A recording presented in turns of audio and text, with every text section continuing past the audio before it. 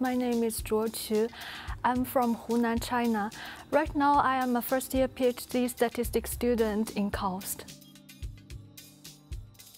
Two years ago, I came to KAUST and uh, I came here to be a master student.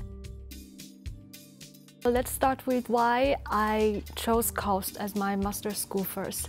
Uh, when I was still a senior student in university, I decided to apply for some university abroad because I want to experience more possibilities in life. I read some news about KAUST online coincidentally, and then I realized uh, there's a university in Saudi Arabia which provides uh, very well-known professors and full scholarships.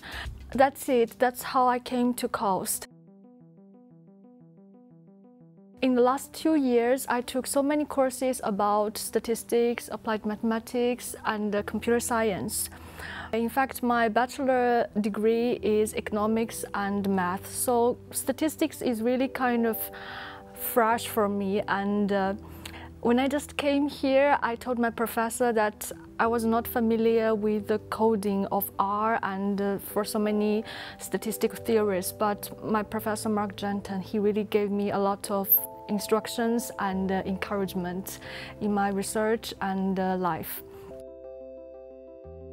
My research is mainly about multivariate functional data. For us, normally the data is just about some point. For example, uh, the temperature today, like is 35 degrees or what.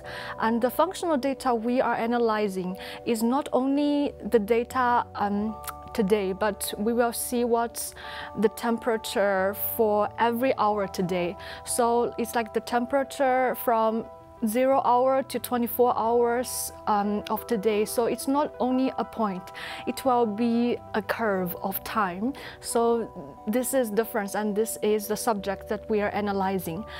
Uh, and what I am analyzing is not only functional, but multivariate functional. So it means if I don't only collect the temperature data, but I also collect the precipitation data. So it's like I got um, two variables.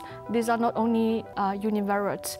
Uh, what I am analyzing is how they correlate each other and how I can make use of some for example, even precipitation data, I can get more about the temperature. So um, what I'm going to solve is right now in the real life, there are so many imperfections about the data. Some data might be missing and some data might be too extremes. Statistically, we say it's outliers.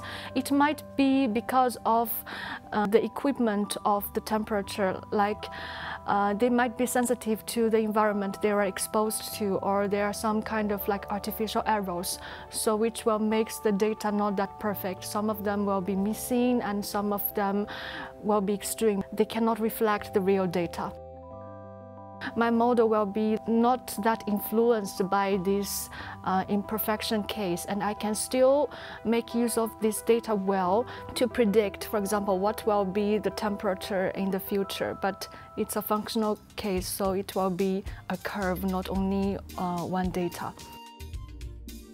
I think what I got in KAUST in the last two years um, is so much. I hope you can join us if you are interested in research and if you are interested in KAUST.